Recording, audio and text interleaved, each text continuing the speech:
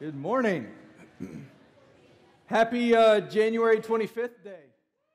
Hope y'all are having a wonderful day. Amen. Amen. Uh, I, I am going to do a very short introduction because I feel like our speaker today is uh, going to be able to introduce uh, the topic really well, which will introduce him really well. But we have uh, Pastor Tony Wood coming uh, to join us today. He has come all the way from Orange County, California.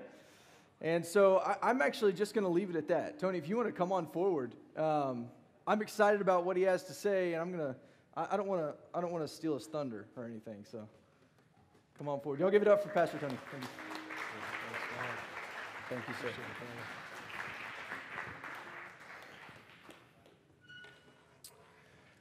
Well, thank you for having me and allowing me to come and fly all the way out here. It is um, a very, very cold place to be. and uh, uh, I, I, honestly have never experienced cold like this ever. Um, you know, I got off the plane and I, I thought, man, I don't have the right clothes for this. I actually looked at my phone and my daughter and I were coming, and, and, we looked, and it said seven degrees. And so I went over to my wife's closet, and I pulled out a scarf. And I wore my wife's scarf uh, this morning um, because I literally do not have clothes for this kind of weather. Um, the only things that I really know about Kansas City um, is, you know, that number one, it's cold. Number two is that you have an incredible quarterback. Uh, that's the other thing. So I'm sorry for your loss last Sunday. That was a tough one. Uh, we have, I'm assuming there's a lot of Patrick Mahomes fans here uh, this, this, this morning, right? We got a few of them? Okay. So it's cold, you have a good quarterback, and then the other thing I know is you have a great um, president in Dr. Chris Cone.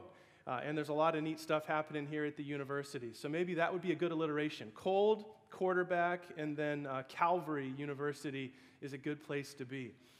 Um, but after doing some research, I realized that also there's one other thing that springs out of um, Kansas City.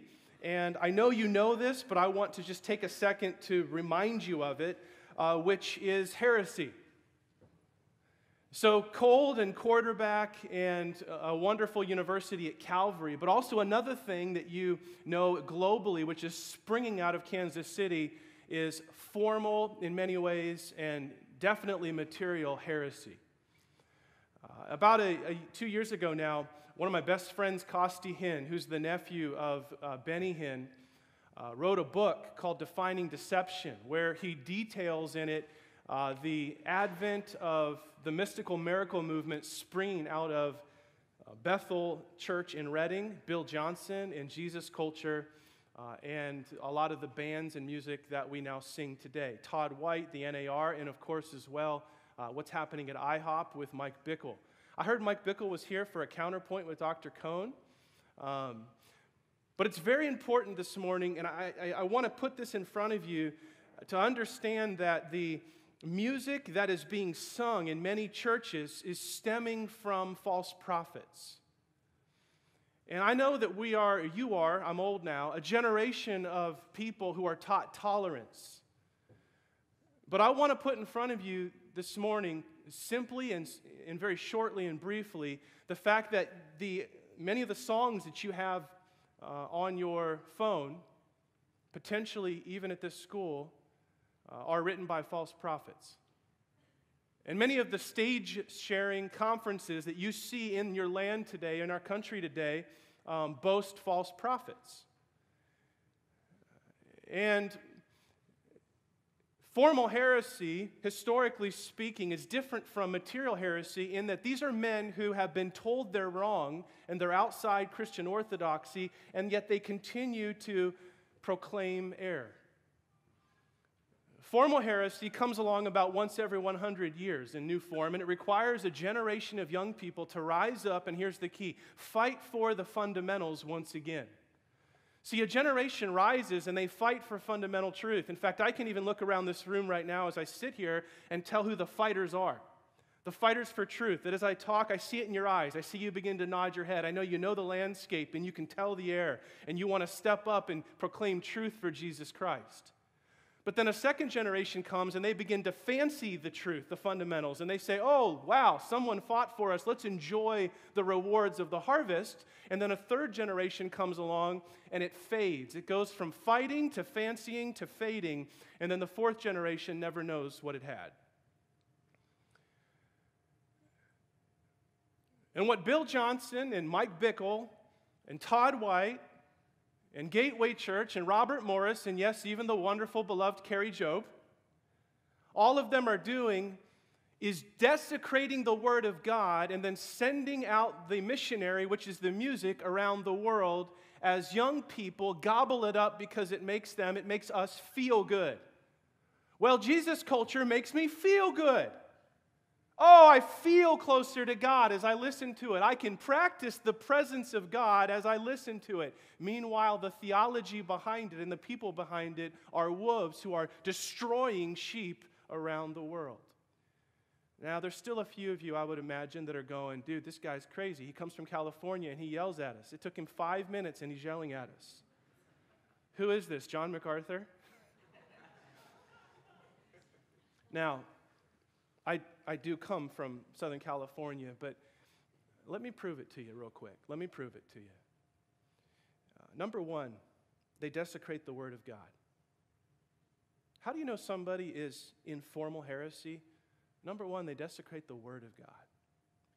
And Bill Johnson's famous sermon, where he takes the stage, some of you, a lot of you have seen it because you're, you know, you go on YouTube and there it is, is he stands up to proclaim why they have gold dust and glory clouds falling and feathers in their church service, and here's what he says It was about 15 years ago that the feathers started falling in the meetings, and then in our homes, and then in restaurants, you know, the signs that make you wonder. People say, Well, where's that in your Bible? Well, God said He'd cover you with His feathers, and then His whole congregation laughs nervously. Well, that's not literal, they say, and more laughter. Bill Johnson says, and that's what I thought. I thought it wasn't literal. But it also says there's healing in his wings. Now, it doesn't take a Hebrew scholar here, friends, to note that Hebrews chapter 91, the psalm written by Moses, isn't speaking literally about the feathers of God. It doesn't take a Hebrew scholar to realize that he's not talking literally there. It's a metaphor, an analogy, and a poetic prose. Bill Johnson's not standing. Read the rest of Psalm 91 as you get on your way home today or back to the dorms, wherever you're going. And he doesn't talk about hundreds of Bill Johnson's followers being struck dead next to him, or Bill Johnson's not being shot, shot by an archer with an arrow, is he? So obviously it's metaphorical. Friends, what we've just watched on YouTube, as has 40,000 other people, is the moment that a shepherd stands on stage in front of his sheep and says, What? Number one, I don't take the, God, the word of God literally anymore. Number two, if you're experiencing a sign, then that means it's God. And number three, our theology is driven by our experience, not our experience driven by our theology. And you've just watched, like the big bully back in the junior high playground, him walk over, set up the little guy, give him a punch before they even knew what question to ask, knocking him down. That's what bullies and wolves do. And from that point on, those sheep sitting there at Bethel Church in Redding, and for millions of people around the world who would listen to their songs, were under the manipulation of Bill Johnson. As he said, You base what you do on my word and not on God's word. In fact, last August, um, does anyone here, everyone here knows about IHOP and Mike Bickle, right? That's old news, um, right? Anybody here ever been to the church or been to, it's not a church, uh, anybody ever been to the thing? All right, three of you. Good. Mike Bickle in Open Heavens 17, uh, or actually on Sid Roth's show, Supernatural, um, was asked, Mike, how, how did you start your ministry? And uh, Sid Roth asked him, and Bickle said, I was reading a wedding invite. And it said, this is a wedding invite that he was reading, Song of Solomon 8 6. I will set a fire on your heart. And Bickle says, and I wept. And the power of God came over me, he said. And then the Lord sealed me with a heart of fire. And then a prophet called my phone and he said, I had an audible voice telling me that God was going to visit you today, Bickle, and preach Song of Solomon 8 6 the rest of your life. Now, you are students at a literal, historical, grammatical university and college under the tutelage of Dr. Chris Cone. Please tell me, is Song of Solomon talking in 8 6 about the power of God's love coming down and infusing a man for signs and wonders, or is Song of Solomon talking about the bride of Solomon and his Shulamite bride? Which one is it? Think hard. It's a great debate for your Hebrew course. But let me just suggest to you that to say your ministry is based off a twist of Scripture starts you off in a pattern where you end up long term where Bickle has ended up. If you do not base your ministry in the Word of God, you end up basing it in experience. And you end up with the International House of Prayer or the International House of Pillage. They desecrate not only the Word of God, but they desecrate the gospel of God. There was a recent IHOP prophecy conference bulletin. This, listen to this. This is the bottom of Bickle's bulletin. It says, The Lord said, If you sow that million dollars into the harvest, then I will release a million souls. Check that out. If you give me a million dollars, then I'm going to give you a million souls. Now, friends, you ever see anywhere in the Bible that God's actually given you an exact payout for what you can purchase? How about this one, the famous Joel Osteen in his infamous Best Life Now? If you want to reap financial blessings, you got to sow financial seeds. And then Bill Johnson again, When Heaven Invades Earth. This is my favorite one. Listen to this. This shyster says, The failure to be healed is a lack of faith. Stop. The failure to be healed is a lack of faith, he says. Anybody here sick this morning? It's been cold. You, you struggling? A little flu bug? You know why you're sick?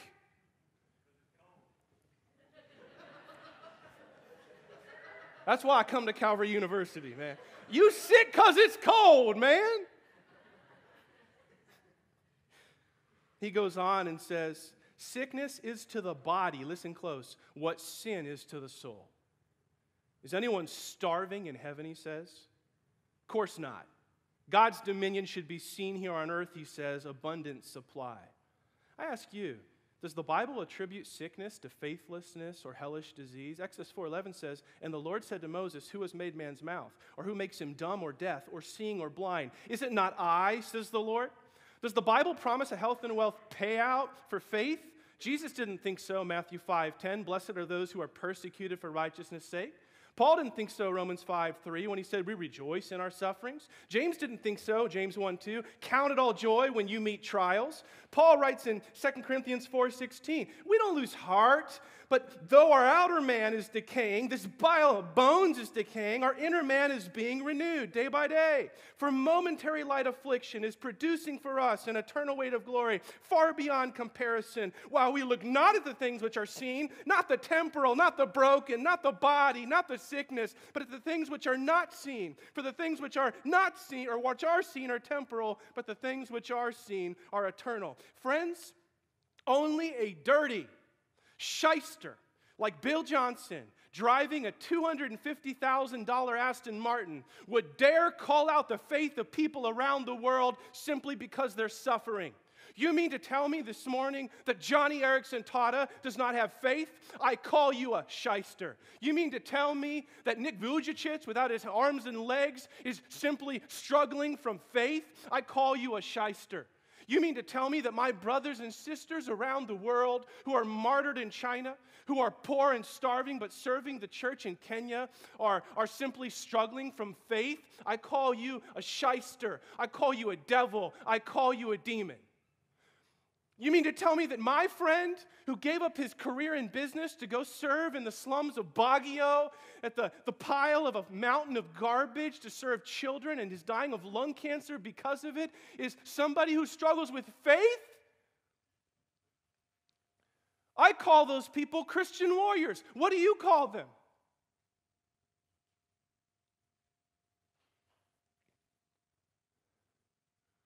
Only the devil would say such things. They desecrate the Word of God. They desecrate the good news, the gospel of God. And then finally, the one that we never can let pass is they desecrate the Son Himself of God. Journey with me back 1600 years, theologians. Do you remember? There was a rogue named Arius. Do you remember him? There he was off in the distance teaching that Jesus was a half God, a firstborn, just like us. Constantine knew this would be a problem, and so what does he do? He calls together a bunch of men, and for years they sit around in Nicaea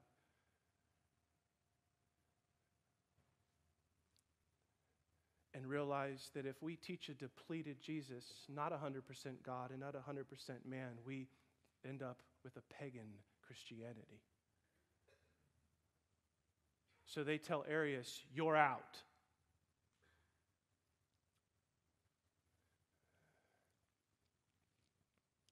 Listen to the first chapter, one line from Bill Johnson's seminal When Heaven Invades Earth. He says, Jesus performed miracles, wonders, and signs as a man in right relationship with God and not as God.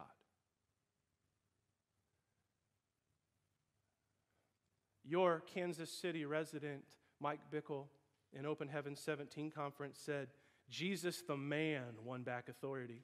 The man defeated Satan. He did it as a man. Jesus the man said, I'll rise again. Friends, these people shout again and again that Jesus was just a man, and it was the power of the Spirit that did the work. And they shout that so that they can tell everybody that they too can be a Jesus.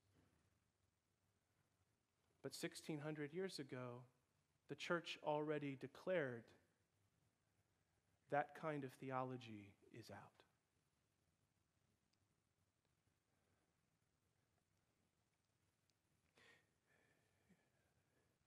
Let me ask you,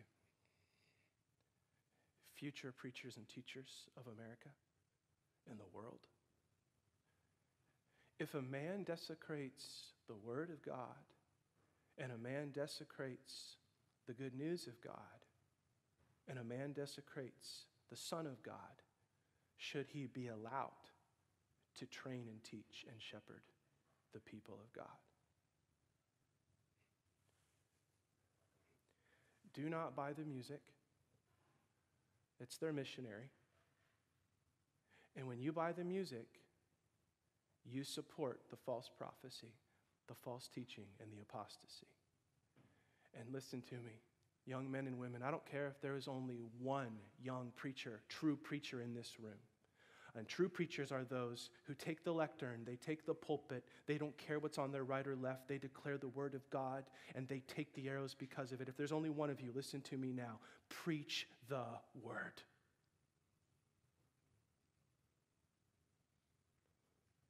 Karuxenton logon. Preach the word. And let the chips fall where they may. But do not let your generation go quietly into the night. Do not let the heretics take the fights of the past and the fancies of the past and let it fade quietly into the night. You stand up and fight for truth. Let Kansas City be known for its cold, its quarterback, and Calvary University, but not for its heresy. Let me pray for you. Heavenly Father, I know that this is a brief time that we have here together this morning. But I'm asking you right now, this moment, I'm asking you for the one. Out of the hundreds of students and future world changers that are gathered in here that you will take into the course of their life. Some of them into business, and some of them into teaching, and some of them into retail, some into government, and some into politics, and some into social change, and some to be wonderful mothers of children at home and I'm asking you, Lord, for the one. I don't know who he or she is, and I do not know the preacher that he is, but I'm asking you right now that you would create a new burning deep inside of him, that his mind would begin to dwell on your word in a new way. That he would know in this moment, beyond a shadow of a doubt, that he is called to the pulpit that he will search out anywhere he can counsel from the men who are around him, that he will stay up in the late hours of the night, that he will wake up in the early dawn, kneeling with his word in front of him, begging the Holy Spirit to fill him with the truths of Scripture, that he will put away the sexual sins and entanglements, that he will commit to searching out the living God and teaching for the living God, even if it means he remain unmarried. That he will know from this point forward that he will not allow false teaching to desecrate his land, that he will stand for the glory and the beauty and the delight of Jesus Christ his Lord, and he will do so unashamed. I ask you now, right now, Lord, for the one. Create an urgency in him let him not rest until he calls people to Christ. We pray this in Jesus' name. Amen.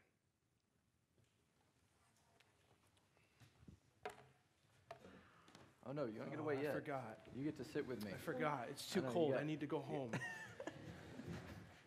You don't get to run away that easy. Come on now. Huh? So, uh, gonna. You had mentioned at the beginning. You said, uh, you know, it's five minutes in and the guy's yelling at me already. I know. I do that. I'm That's so okay. sorry. No, but I'm really not like that all the time. See, I, I'm, I'm, I'm nice most of the time, right, Peyton? I'm pretty nice at home. Okay. Tell the truth. No. um, so, and and I, I, I do that too. I'll, I'll, my voice tends to just the more I talk about something, the kind of the higher and higher and louder I get, and it, and it I, I think it just comes because I'm passionate about something, right? And that and that comes across as as, as just an increase in volume, constant. But do you believe? Uh, you're speaking harshly. I, I've heard it from some people that they, they respond to me and say, "What? why are you talking like that? You know, you're supposed to be kind and loving and things like that. And so, um, if someone was to come up to you and say um, you're being prideful or harsh or unchristlike, what's your response to that? Why, why, you know, why do you, why would you disagree if you do? I, I understand, and I, I, I do think that there's first off a, a different in intonation when we're obviously when we're when we're preaching and we're talking about God's word versus our own word. Um, you know, my word, you know, my word. Who cares? Um, I could care less. Um, I think. You know what a, what a person tweets, puts on Facebook, um, social media. We could, should care less. Whatever. Public opinion, the court of public opinion, whatever. We need to be humble and, and kind. I, I do think, though, that when a man takes a pulpit and says, Thus saith the Lord, um, he's an ambassador, a herald for the King of Kings and Lord of Lords, and he needs to be willing to take no prisoners. Not to say that there aren't parts of Scripture that have a much nicer ethos um, and pathos, but I, I think overall there are times, especially when we're calling out false teaching, um, that we need to simply say, Thus declares um, the Lord. So I, I tend to bifurcate those. Yeah. Um, I, I do think, to be honest, too, um, as you well know, that there has been a dumbed down version of teaching in, in, in evangelicalism Right. and in preaching, Mm. where it's not even really preaching anymore. It's simply, how can I get up here and share just enough to make these people like me of opinion um, and to keep coming back and feeding the economic engine of churches? Right. And so, by and large, you, you guys would know better than I, um, even the majority of seminaries anymore aren't, aren't training people to be proper expositors and preachers. Right. They're training them to be nice guys with sermonettes. But So I want to touch just a little bit on the music aspect. Um, you had mentioned, you know, Bethel and, and Hillsong and Jesus Culture, and I think I think you named all three of those specifically. Um, arguably, there are some of their songs that would uh, get by with um, biblical accuracy, right? Yep, that, that- that- absolutely. That, some of their that some of their music, I could say, yeah, I, I agree with the words of that song, Mhm. right? And so uh, why you had mentioned supporting them by buying their music. What's the difference between doing that and maybe doing it with secular music, or is there a difference? great question. Right. Yeah. Are we about to go into a Jesus culture song after this? I'm just. I don't know. I'm just kidding. I, I just picture the worship team back there, and they're like, "Oh no, you know, sorry, crazy California guy." everyone waits. That's everyone waits till I leave, and then they just break out in song. Yeah, it's a great question. I have people ask me that all the time when we wrote the book. It was like, okay, well, this guy had slaves, and this guy, you know, got divorced, and why do we sing Ray Boltz, but we can't sing you know, all these old people? It's real simple to me, guys. It's real simple. Try. We're all sinners, right? So you and I, if we wrote a worship song, you know, you don't want me to write it. No, no, yeah, yeah. You don't want me to sing it, right? So thank goodness that the, our full body of work is looked at in ministry because if people only like look when they look at me up to 20, they're like, "Who's that prodigal kid? You know, that he shouldn't even be standing up there." So right. I think there's a difference though between sin, and that's why I'm clarifying these things, and then formal heresy. We need to be very, very patient and kind. We all are singing songs written by sinners and whatever, you know, that's great. Um, and as long as they have the truth and proper theology in them, sing them to the rooftops. However, there's a difference when we can quantify that this individual is in fact propagating error intentionally. Mm-hmm. Because then what we're doing is we're fiscally supporting error. We're saying, hey, we know that this is all disseminating out of the pit of hell, so let's pay $9.99 for the album and then we'll help it along. That's the difference. So I have nothing in my mind that would stop someone from singing a song that's written by a sinner saved from grace. I think that's what we all do. It's when we know that it is um, that it's it's literally in my in my humble opinion demonic that we support it where we cross a line. I think it's just wise to stay away from it.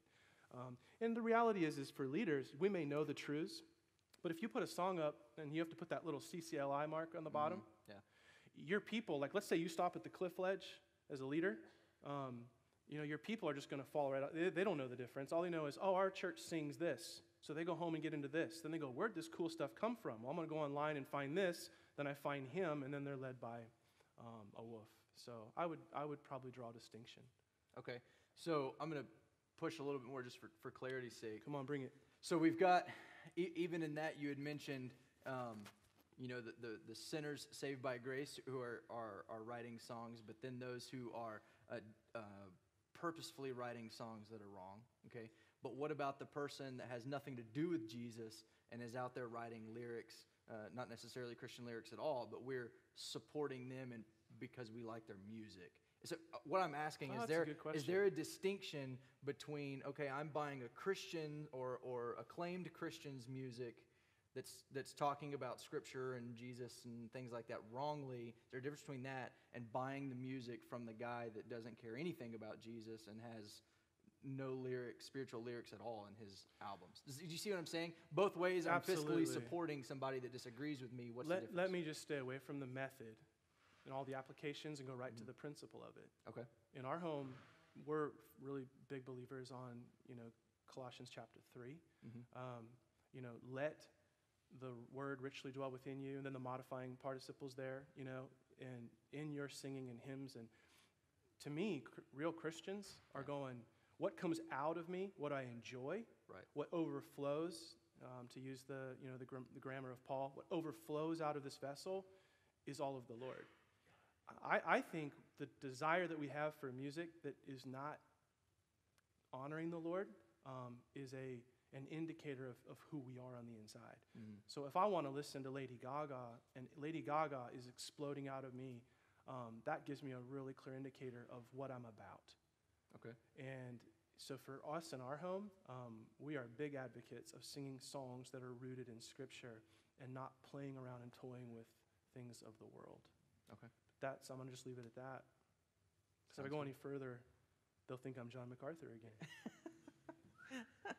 So, okay, so we'll move away from music for a minute. How can we pray for our IHOP brethren who have been led by false teachings? Well, we need to remember that this is a rescue operation for all of the sheep. And um, we need to do it with tears. We, we should preach with a moist eye. Um, gosh, you know, just to think of, uh, I'll give you an example in our life of Costi Hinn, uh, his, his parents. You know, obviously his uncle is, is off the reservation, but um, you know, I don't know if we're recording this, so I'll just I'll leave it at that. I think that there are people in our life, all of us would know them, who even right now as we sit here are caught up in prosperity and word of faith, in mystical miracles, signs and wonders, and we need to do it through a moist eye. We call it PTSD. I think number one, you keep the communication lines open with them. Mm-hmm. Don't shut them down. Don't become the preacher who's hardline. and says, Not talking to you anymore. Keep the conversation open. Pray for a breaking point so that when they hit rock bottom, they come to you as a bastion of truth. Right. And then be ready with your answers in Scripture for them. Because as God calls them to faith, they will be brought to the bottom and realize that the sand upon which they built their house is shallow and it does fall. And if you have obliterated your relationship with them, you have no shot. Um, you're not the one they call. So be patient and sensitive. Be ready. Be praying for their broken moment. And then, number three, be ready with the right scriptures to show them who Christ really is. Um, that'd be my answer. Very cool. Callie, go for it. As a literal reader of scripture, I trust you don't take words like demonic and the devil lightly. So, as you speak, especially to the aspect of music, that this music, you can participate in it, purchasing it, and said that that's, in a sense, demonic. Is that what you're saying? It's a great question. To repeat the question, may I repeat it? Do you want me to repeat it for everybody? Her question is really good. She says, um, when we're talking about scripture and use words like demonic, these are very important words. And we're talking about something inherently evil. And so to use that in association with this music, are, am I saying that the music and listening to it in and of itself is demonic or would be an act of evil? Okay, great question. Um, yes, your prequel question. Okay, this is Tolkien. It's coming in three parts. Okay, um, 700 pages. So Two minutes. we have two minutes for 700 pages. Are you ready? Number one would simply be when I use demonic, when I use devil, when I use pit of hell, um, whether you view them metaphorically or euphemistically, when I talk about what Bill Johnson is doing and Mike Bickle is doing or Arius is doing, I'm, I'm, I am saying yes. I believe that that is purely of the devil to assault the clarity of the gospel of Jesus Christ. How that those applications and those means work themselves into daily life, I'm not saying that that is demonic. I do not think the devils are in the airwaves, and I don't think they're in your phone, and I don't think that they're in just a regular sheep who's sitting there listening to a good song. Um, so I would clearly differentiate those. However, I do believe that for those who are lost, because Christ will always protect his remnant, but for those who are lost and listen to those songs, it would be possible for them to go on YouTube, find out where the song comes from, eventually listen to the teaching at the root, and be snared long term away from Christ through the demonic ploys of those people. How do I support scripturally? Second Peter chapter 1. Um, the, in fact, the whole book of Second Peter. If you just simply read it when you get home, in fact, I'm not, I hate I'm going to say this, but I'm going to say it. Even be willing to use something like the message version or the NLT, just if you want a quick and easy read, and then simply go online and compare what Peter said these men would be like, and you'll see it. They'll be greedy, they'll be taking advantage of weak willed women, and they will be doing everything under their own ends. Um, I can give you a story. One time before I was converted, I was at TBN hosting a show for Paul Crouch Sr. and um, that whole crazy group that sits on gold chairs. And suddenly, Paul Crouch Sr. came walking through. He's the owner of the whole thing. And he had a little servant boy that had to follow behind him with his hand on his shoulder. Everywhere Paul Crouch Sr. went, there was a little servant boy, aged 19 or 20, uh, who had to follow him around with his hand on his shoulder. And inside this society of patristic order, these men are viewed as mini gods. So you read 2 Peter and then you research these people, and you'll quickly see that they are demonic. Great question.